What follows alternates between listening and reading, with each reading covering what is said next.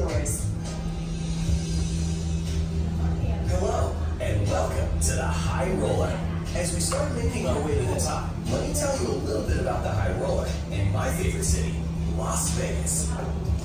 Let's start by rolling some numbers. Big numbers, like 7.3 million tons of steel, 40,000 cubic yards of port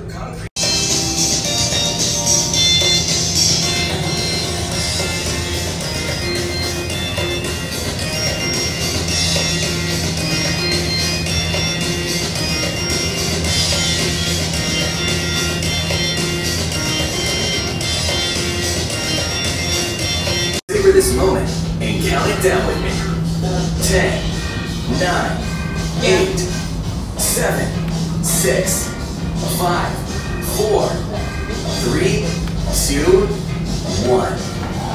Congratulations! Yay. You made it to the top. 550 Yay. feet above the Las Vegas Strip. You are now a true high roller. To appreciate how high this is, look out the window. You're higher than the Eiffel Tower, at least the Las Vegas version.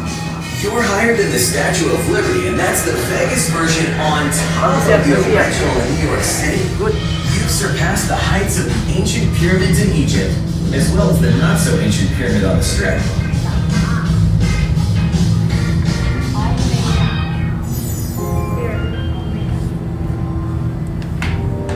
We've pressed.